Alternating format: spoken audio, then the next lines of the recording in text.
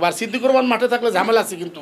যদি শিল্পী সমিতির সাধারণ সম্পাদক নিপুণ যদি আমার সহ শিল্পী সে যদি এই কথা বলে থাকে এবং আমি দেখেছি, এটা বলেছে, আগে চিন্তা করেন, আপনার মিশন ভীষণ, আপনার এডুকেশনকে চিন্তা করে তারপরে কথা বলেন তাদের সাথে। কারণ আপনিও চাচ্ছেন যে আপনার কথা, বিতর্কিত কথার কারণে আপনার ভিউ হোক এবং এই ধরনের বিতর্কিত কথা বলে বেঁচে থাকার কোনো মূল্য নাই। ওবিটা কেটে নেতা হওয়া যায় আর অভিটা না কাটলে শুধু অভিনেতা হওয়া যায়। আমি কিন্তু সবসময় বিদেশি ছবির বিরুদ্ধে একটা মাত্র কারণেই, কারণ আমার দেশের ফিল্মই তো এখনও ঠিক হয় নাই।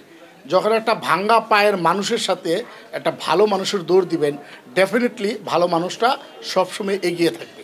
আমি সেই জন্য বলি যে বিদেশি ছবি আনার মতো যোগ্যতা এখনও বাংলাদেশ সরকারের হয় নাই বা আমাদের হয় নাই। বিকজ নিজের ঘরে যখন চাল ঠিক না থাকবে, সেখানে যদি কাউকে আমন্ত্রণ জানায় ডেফিনেটলি সে কিন্তু এসে সেখানে সেই জায়গাটা তৈরি করে ফেলবে যে আপনার চাল নাই, তাতে কী হয়েছে? আমি ছাদ, ছাদের জায়গা থেকে আসছি। অথবা আমি মনে করি যে একটা সুস্থ মানুষ যেমন অসুস্থ মানুষের সাথে দৌড়ে পাবে না বা অন্য অন্য বিষয় পাবেন আমি মনে করি যে বাইরের সিনেমার সাথে বাংলাদেশের সিনেমা কখনোই কম্পিটিশনে টিকবে না।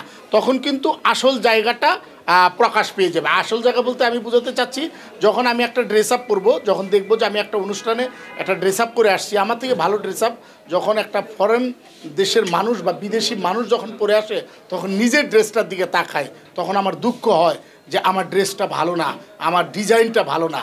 আমি মনে করি বাংলা ফিল্মের অবস্থা তাই। সো বাংলাদেশে এখনও আমাদের এই যোগ্যতাটা আমরা অর্জন করি নাই যে বিদেশি সিনেমা আমন্ত্রণ জানিয়ে আমরা তাদের সাথে কম্পিটিশনে যাব। আমি মনে করি যদি এটা করা হয় বাংলাদেশ সরকারের পক্ষ থেকে, আমি মনে করি এটা একটা, আমি বলি এটা আমার পার্সোনাল ওপিনিয়ন যেটা আমাদের একটা বোকামি হবে। অথবা আমি মনে করি বোকামিতে আমাদের পা দেওয়াটা উচিত হবে না। কারণ আমার দেশের ফিল্ম কিন্তু এখন আমরা বলি যে ফিল্মের জায়গাটা কি? এটা সাধারণ মানুষ বলতে পারবে। কারণ সোশ্যাল মিডিয়া যখন স্পেড করেছে, তখন ফিল্মের জায়গা অতটা স্পেড করে নাই এবং অত শক্তিশালী হয় নাই। এখন আমি যখন আমার বাসায় পঁচাশি ইঞ্চি টেলিভিশনে বসে আমি এত সুন্দর সুন্দর ফিল্ম দেখি, তখন কিন্তু আমি আর ফিল্মের জন্য আলাদা একটা বাজেট করব না। যে আমি ফিল্ম দেখতে আমি এত জ্যাম পেরি দিয়ে তারপরে আমার বাচ্চাকে নিয়ে, আমার প্রাণপ্রিয় বাচ্চা এবং ওয়াইফকে নিয়ে আমি ইসে সিনেমা হলে যাব। অথবা আমরা তো এমনিতেই একটা মুমূর্ষ অবস্থায় আছি। সো সেই মমস অবস্থায় থেকে যদি বিদেশি ছবি এই দেশে আমরা আনি, আমদানি করি, আমার মনে হয় এটা বোকামি হবে। এটা সিদ্দিকুর রহমানের জায়গা থেকে বলতে চাই যে এটা কখনোই উচিত না। ডেফিনেটলি আমিও একমত যে বিদেশি সিনেমাগুলো আনলে যেগুলো কমপ্লেক্স আছে বা এই যে স্টার সিনেপ্লেক্সের মতো জায়গাগুলো, এই সিনেপ্লেক্সের মালিকেরা বিজনেস করবে। তারা কিন্তু ঘুমায় কোন জায়গায়, সেটা চিন্তা করতে হবে। সিনেপ্লেক্সের প্রত্যেকটা মালিক বাসায় ইন্টুরিয়াল করা বাসাতে ঘুমায়।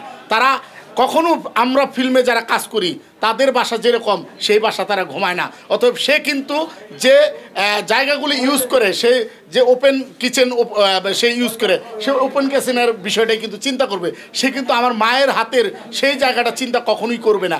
আমি মনে করি যে, যারা যারা এই সিনেপ্লেক্সের মালিক, তাদের চিন্তা ভাবনা শুধু গভর্নমেন্ট যদি নেয়, সেটা আমি মনে করব যে তাহলে আমাদের গভর্নমেন্টও তাহলে চায় যে ওরকম, ওই যারা ইন্টেরিয়র বাসায় থাকে বা ওরকম একটা ওপেন কিচেন ব্যবহার করে যারা আধুনিক সেই বিদেশি বিষয়কে অনুকরণ করে, তাদের কথাতেই এই দেশে বিদেশি সিনেমা আনা হচ্ছে। আমি ডেফিনেটলি এটার পক্ষে না, এবং এটার আমি বিরোধিতা করি, সবসময় বিরোধিতা করতাম, এখনও করি, এবং যদি এটা করে আমি মনে করি, শিল্পীরা যদি রাস্তায় নামে যে বিদেশি সিনেমা আমদানির ক্ষেত্রে শিল্পীরা একবার রাস্তায় নেমেছিল, আমাকে একবার এফডিসি থেকে দাওয়াত করেছিল যে আসেন আমরা কাপনের কাপড় মাথায় বেঁধে আমরা মিছিল করব।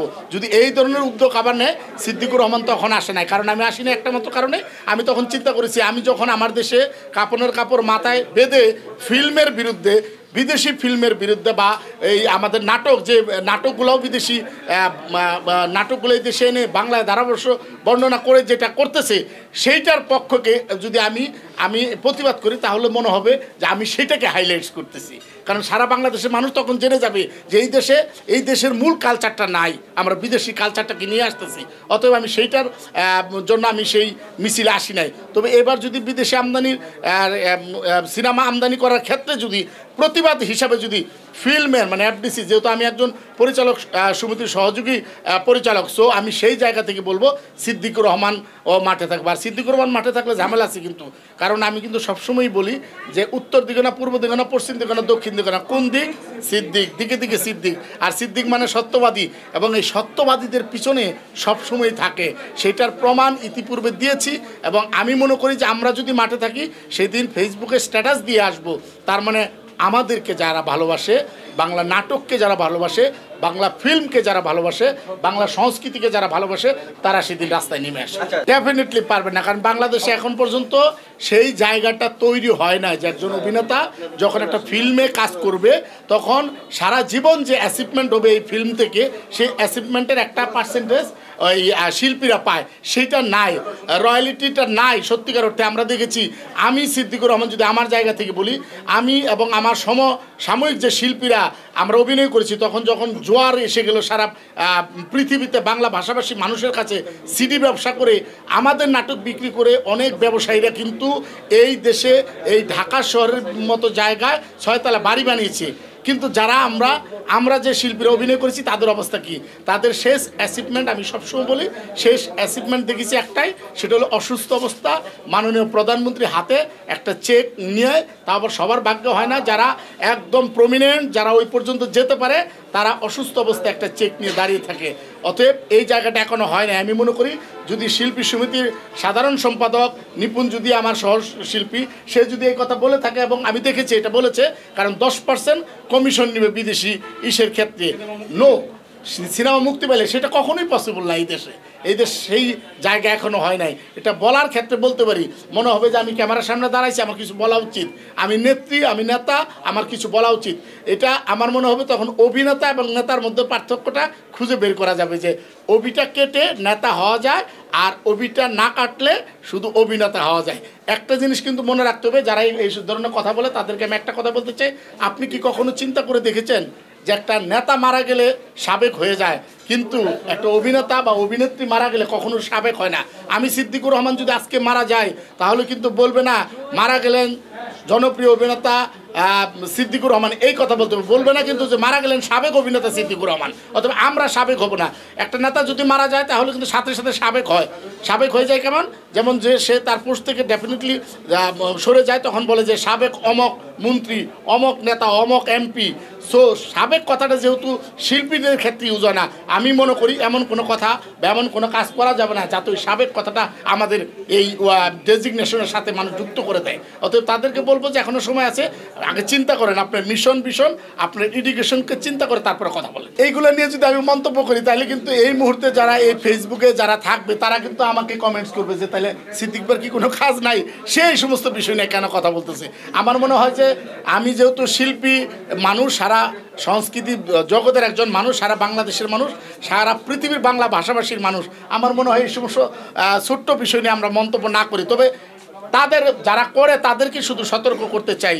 আপনি কি বুঝেন যে আপনি যে মন্তব্যটা করেন, সেই মন্তব্যে আপনার জায়গাটা আপনি নিজে নষ্ট করতেছেন? আপনি ও, তাদের সাথে যুক্ত হচ্ছেন কাদের সাথে? ওই যে বিউ ব্যবসায়ীদের কাছে যারা জিম্মি, তাদের সাথে। কারণ আপনিও চাচ্ছেন যে আপনার কথা, বিতর্কিত কথার কারণে আপনার ভিউ হোক।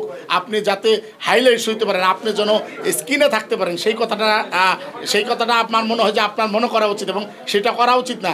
আমি সিদ্দিকুর রহমান নাটক করব না, ঘোষণা দিয়েছি। কিন্তু তারপরে কিন্তু সিদ্দিকুর রহমান যে কোনো আমার অ্যাক্টিভিটিসের কারণে সিদ্দিকুর রহমান বেঁচে থাকবে। আমি যদি এখন শিল্পীর জায়গা থেকে সরে এসে চিন্তা করলাম, সমাজের মানুষের জন্য কিছু করব না, আমি শুধুমাত্র নিজের আলোতে নিজে আলোকিত করব। আমার মনে হয় যে তাহলে সিদ্দিকুর রহমান মরে যাবে। আমার আলোতে আরও মানুষকে কীভাবে আলোকিত করা যায়, সেই জায়গাটা যদি আমরা চিন্তা করতে পারি ডেফিনেটলি আমি মনে করি আপনি স্কিনে না থাকলেও আপনি বেঁচে থাকবেন। এবং এই ধরনের বিতর্কিত কথা বলে বেঁচে থাকার কোনো মূল্য নাই।